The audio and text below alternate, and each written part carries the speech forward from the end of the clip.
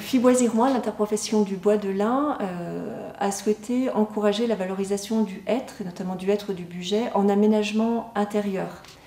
Elle a donc sollicité Colin Vernet, qui est architecte, et l'atelier Angie, euh, agenceur, pour euh, la conception et la réalisation de meubles en hêtre pour équiper Visiobois, la maison de la filière forêt bois, qui se trouve à Cormaran-Champ-Buget sur le plateau d'Hauteville. Ce projet nous tenait particulièrement à cœur, ce qui permettait de valoriser le hêtre. Cette essence bénéficie de réelles qualités esthétiques.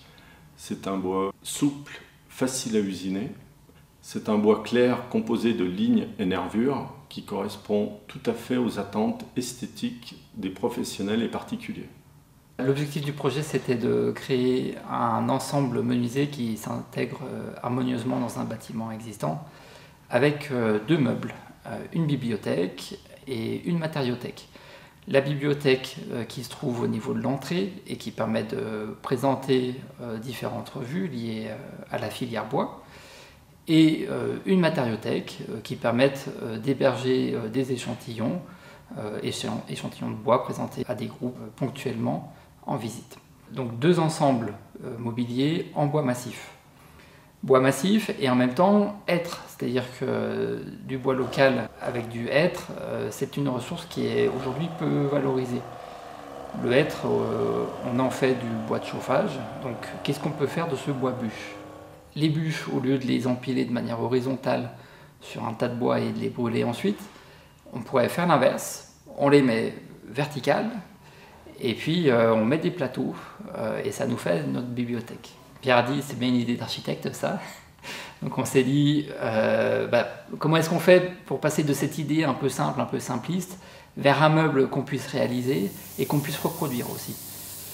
Et donc partant de là, on part de ce bois massif pour en faire un produit qu'on puisse travailler, qui ait une stabilité dimensionnelle, et, et en le découpant en petits morceaux et en en faisant des panneaux, eh on arrive à garder cette idée euh, de bûches qui font comme des entretoises euh, entre les plateaux et en même temps qu'on peut bien maîtriser au niveau de l'assemblage.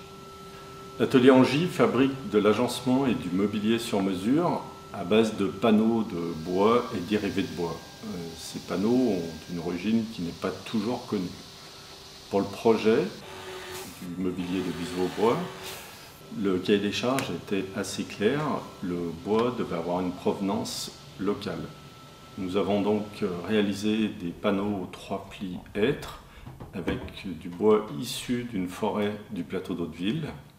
Le bois était scié à l'école technique du bois de Cormaranche.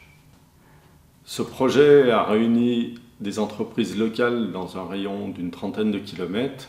Nous en sommes fiers parce que nous sommes vraiment attachés à notre territoire à l'image de Visiobois, qui a prouvé concrètement qu'il était possible de construire des bâtiments en bois local et qui a été donc précurseur hein, de, toute une série de bâtiments euh, en bois local dans le département de l'Ain, on espère que ces deux meubles en hêtre, qui sont à la fois euh, très esthétiques et très fonctionnels, vont euh, contribuer à engager toute une dynamique sur la valorisation du hêtre dans l'aménagement intérieur.